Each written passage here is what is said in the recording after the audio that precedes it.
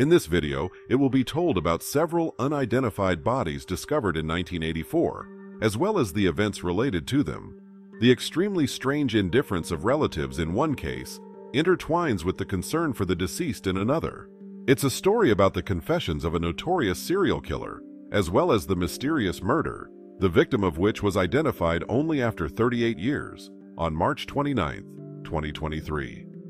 Subscribe to this channel and don't forget to click the bell to get notifications about new videos. City of Troy, Lincoln County, Missouri.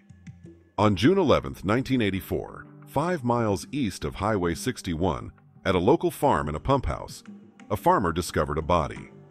The deceased was a middle-aged man, but due to severe decomposition, his age was estimated to be between 40 and 80 years old. He likely stood between 6 feet to 6 feet 2 inches. He was dressed in an expensive pinstripe suit by Bill Blass, a white shirt, shoes, a tie tied with a Windsor knot, and a black Bill Blass peacoat. In his pockets, a black comb, a white handkerchief, and even a gold money clip were found. The cause of death was a gunshot wound to the back of the head. As determined by coroners in 1984, the murder occurred approximately six months before the body was discovered. No documents were found on the deceased, and search efforts yielded no results. Since then, the man has been called Lincoln County John Doe, and this continued for nearly four decades. In 2015, the unidentified person's biological material was sent for DNA analysis, but there were no matches in the databases, and the technology at that time could not yet provide answers to investigators' questions. However, later joint efforts by students from the Southeast Missouri State University, the police, and the Othram Company yielded positive results. Thus, 38 years after the discovery, on March 29, 2023, at a specially convened press conference, it was announced who the unidentified man was. Jack Langeneckert was born into the family of 29-year-old Leonard Langeneckert and 27-year-old Hazel, née Lorenz. He had two sisters, one, Shirley, who was five years older than him, and Jean Olivia, seven years older. They lived in the town of Ferguson, and then in the neighboring Florissant. Both are part of the St. Louis metropolitan area, and are essentially part of it.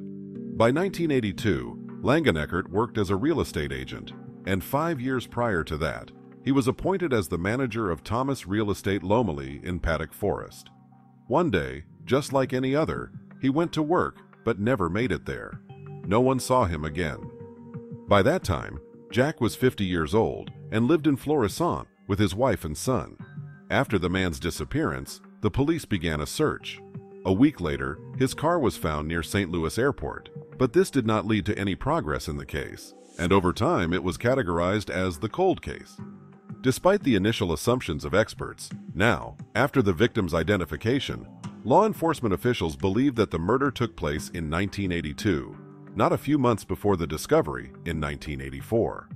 Captain David Hill of the local police said that detectives are actively working on the case and have already come one step closer to determining who killed Langeneckert. While the cause of death is known, the reason for the homicide is not. Thanks to the cooperation between public and private partners, we are able to pursue justice for Jack and his family, stated in a statement on the website of the Lincoln County Sheriff's Office. The Langeneckert family is quite large, with dozens of its members living in St. Louis both past and present, making it all the more surprising that none of them connected the high-profile discovery of an unidentified body in expensive clothing in their county to their missing relative. A fairly well-known artist, Donald Langeneckert, still lives and works in this city. Moreover, in the obituary of Jack's sister Shirley in 2019, her brother is listed as deceased. The identification of Jack Langeneckert was carried out by students from Southeast Missouri State University, led by Professor Jennifer Bengtson immediately after studying the DNA material of another unidentified body from this area. On March 7, 2006, in the Cuivre River State Park near the city of Troy, not far from the highway, a body was discovered. The deceased was a white muscular man, weighing between 220 and 280 pounds, and standing between 5 feet 6 inches and 6 feet tall. His age was estimated to be between 54 and 64 years old. Next to the body, there was a turquoise cylindrical igloo cooler, a turquoise thermos with a black lid, and a small red Eveready flashlight.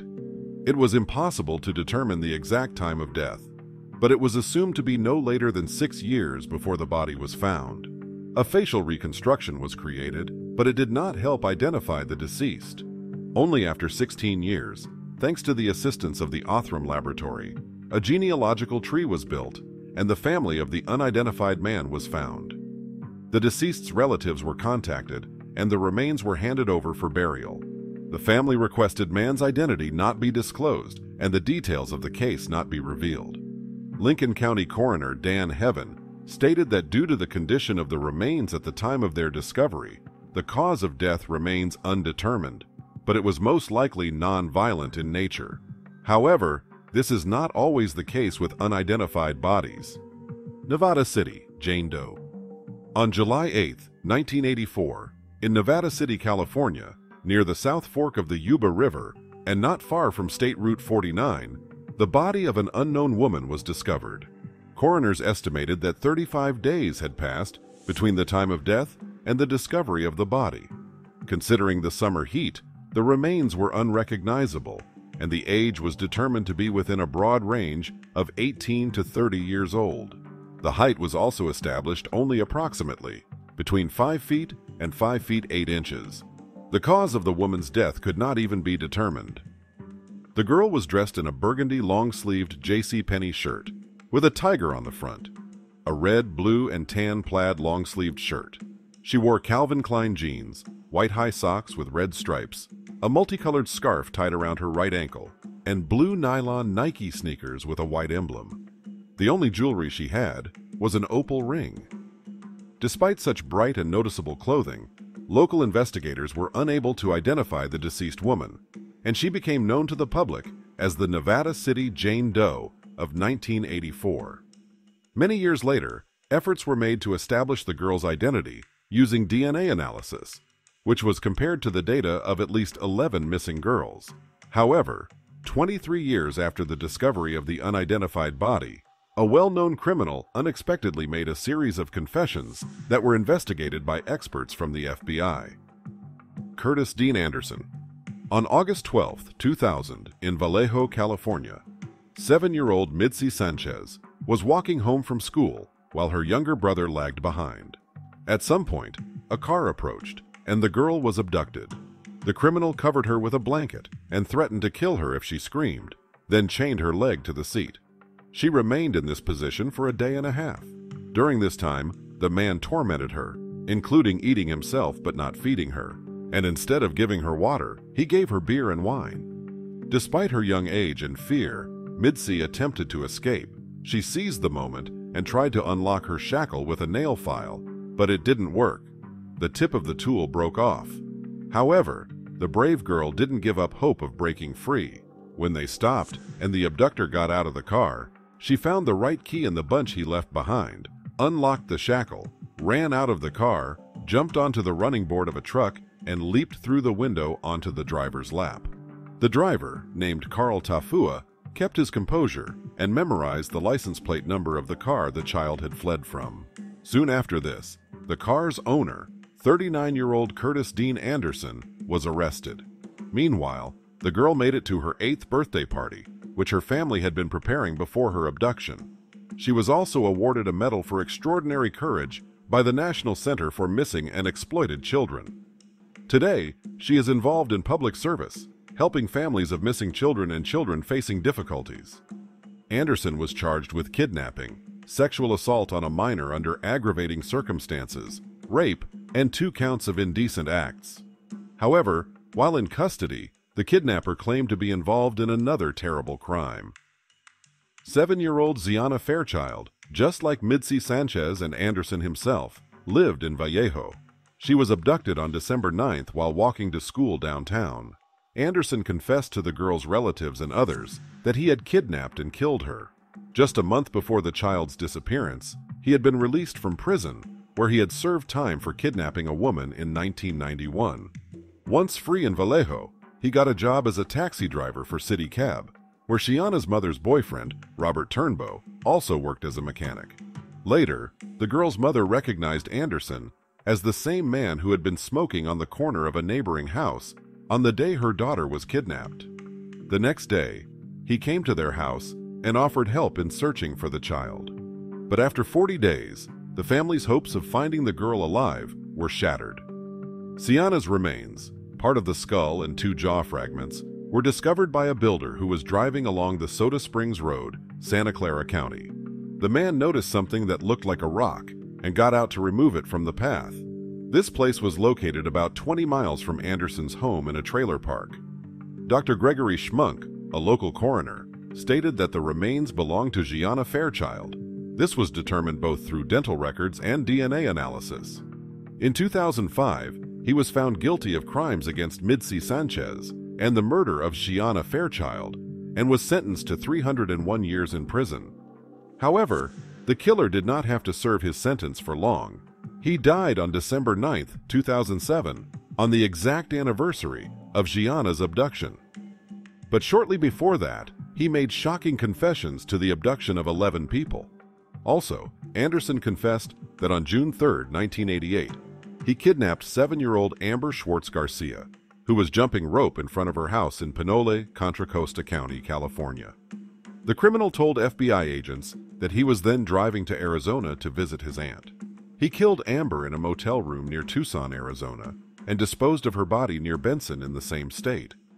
Despite the fact that the investigation had other suspects in this case, including a volunteer who helped search for Amber and a defrocked local priest, the FBI believed that it was indeed Anderson who committed the crime and closed the case in 2009. The girl's mother, Kim Schwartz, believes that one confession is not enough and disagrees with the outcome of the investigation. However, the first murders that the man confessed to were committed in the same area and in the very same year of 1984 when the body of the so-called Nevada City Jane Doe was discovered. The killer stated that his first victim was a girl either in her late teens or early 20s. He believed that she had run away from home, but did not provide any further details about the incident including her appearance or clothing. After the murder, Anderson disposed of the body in a pool in Marysville, just 35 miles from Nevada City. This victim became known as Yuba County Jane Doe, 1984. The second murder occurred a few days later in the same area.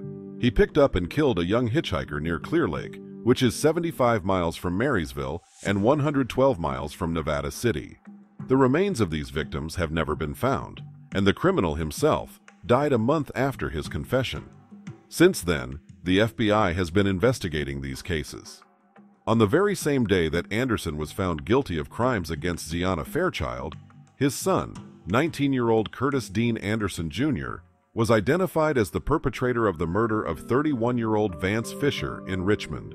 In the end, Anderson Jr. was convicted and sentenced to 16 years in prison. But after 12 years, on January 21, 2019, he was found hanged in his cell. It took the coroner seven months to definitively determine the incident as a suicide. In total, 36 inmates took their own lives in California prisons that year, setting a record for the state. What do you think? Who might have wanted the death of real estate agent Jack Langeneckert? And is Anderson involved in the death of Nevada City Jane Doe?